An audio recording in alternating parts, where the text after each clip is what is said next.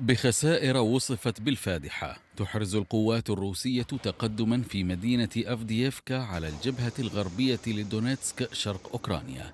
تقدم يشي بتكتيك جديد للمعارك. الهدف منه باخموت رمز المقاومة الأوكرانية.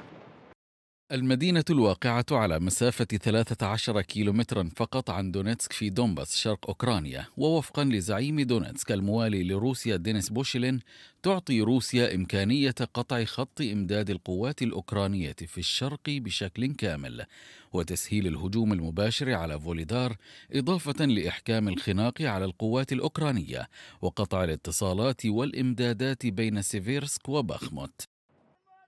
بالمقابل تقول وزارة الدفاع البريطانية إن التقدم الذي أحرزه فوج الدبابات العاشر الروسي في أفديفكا كان هامشيا مقارنة بالخسائر الفادحة في المركبات المدرعة، لا سيما أن الفوج شكل حديثا وتلقى تدريبا مكثفا في بيلاروسيا.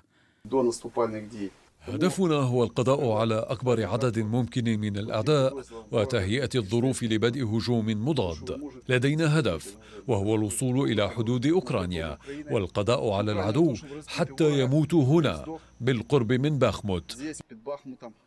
بحسب وسائل إعلام روسية فإن التقدم في أفديفكا رافقه آخر شمال باخموت إذ سيطرت قوات فاغنر على مجمع أزوم الذي يشكل المنطقة الصناعية في دونيتسك عدا عن الوصول إلى سكة الحديد والتقدم في بعض المناطق الحضرية.